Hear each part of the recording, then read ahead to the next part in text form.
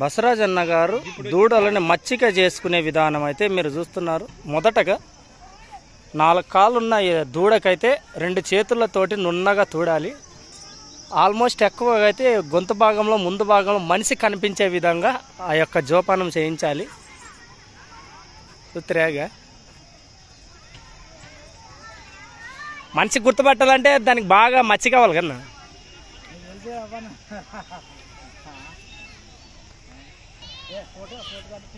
ఉంటుంటూ జోపానం చేసిన వాళ్ళు మీదకే పోయేటట్లు ఉండదు ఇది నేను ఇప్పుడు